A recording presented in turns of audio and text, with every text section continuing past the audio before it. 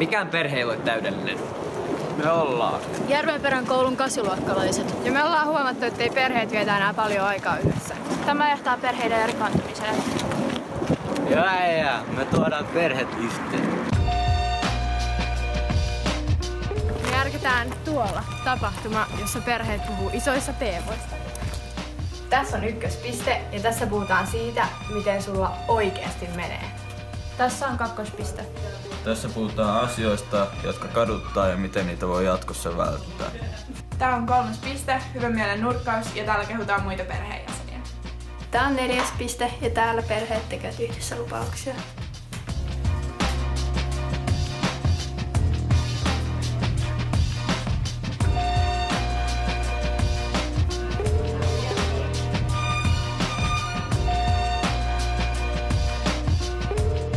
Että on ihan hirveästi töitä, että joutuu tekemään niinku pitkää päivää. Niin aika pitkät päivät töissä on viime viikolla. No, milloin viimeksi on ollut riitoja ja miksi? Ainoat riidat tulee oikeastaan meille siitä, kun Sandra säilyy omassa huoneessaan kaiken maailman roskia, eikä se millään siivoo itse niitä pois. Ei sun tarvii siivoa sitä.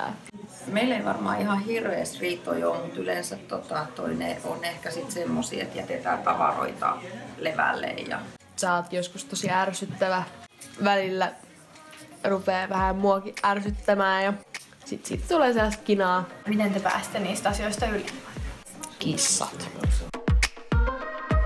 Jos tulee vähän niin kuin äkkipikaisesti sanottua, Kyllä mua kaduttaa se tavallaan, että mä raivostun välillä Sandralle, kun se pitäisi siivota sen huone eikä se siivoo. Ja mä oon sanonut 275 kertaa siitä ja sitten vieläkin se sanoo kohta. Työ on vienyt vähän liikaa, niin se harmi. 80 isäkin asuu yksin tuolla 100 kilometrin päässä. Niin Leilan kaatuita jotain riita, jos mä oon tehnyt sille jotain tai ottanut sille jotain. No, tuleeko teille mitenkään mieleen, miten tämmöisiä asioita voisi vältellä? Yrittää levätä tarpeeksi, että jaksaa eikä tule niitä väsymyspiikkejä.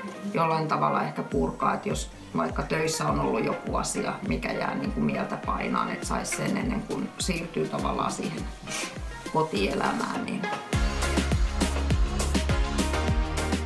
Mitä kiva haluat tehdä hänen kanssaan?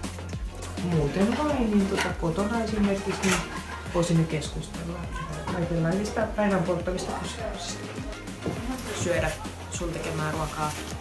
Wow. Keksiin kaksi positiivista asiaa. Sä oot pitkä. Sulla on kissoja. Easy going, semmonen rento minni, joka ei hirveästi niinku stressaa. Sä oot hyvin helppohoitoinen. Lemmikkieläin.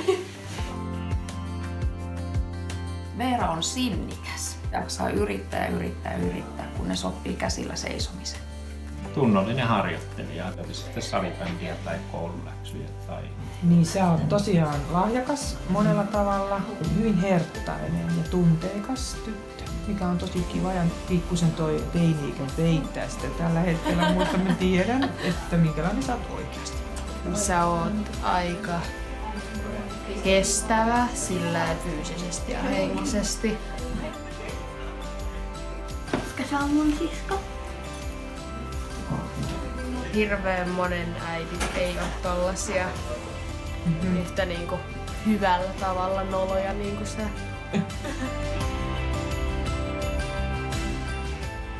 Me haluttais lähteä yhdessä kanottiretkelle, koska me ollaan mietitty sitä jo monta vuotta, että sellainen pitäisi järjestää. halutaan pitää myöskin yhteinen peli-ilta, niin sit voidaan siinä viettää yhdessä aikaa saman pöydän ääressä.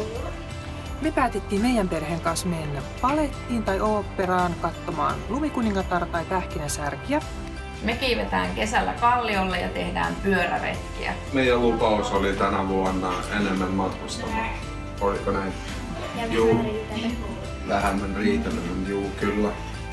Me haastetaan sut viettämään yhdessä aikaa perheen kanssa. Anna säkin aikaa sun perheelle. Присоединяйтесь!